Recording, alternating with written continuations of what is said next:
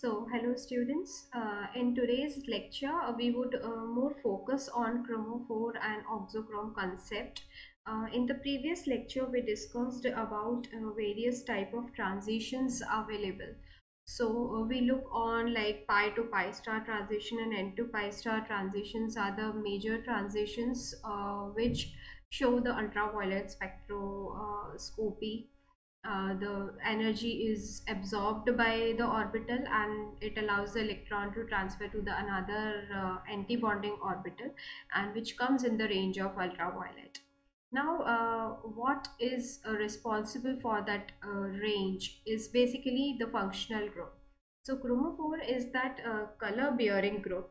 It is because of that the color appears in the compound and the chromophore uh, could uh, possess either uh, pi to pi star transition uh, like uh, alkenes alkynes. So those unsaturated compounds do show uh, that pi to pi star transition.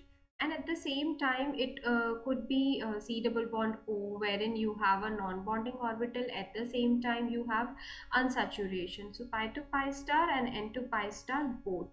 So chromophore could have these two possibilities while auxochrome if you see auxochrome is uh, not which is having a color.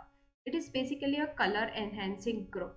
So once it is attached in coordination with chromophore it is going to increase the intensity of absorption.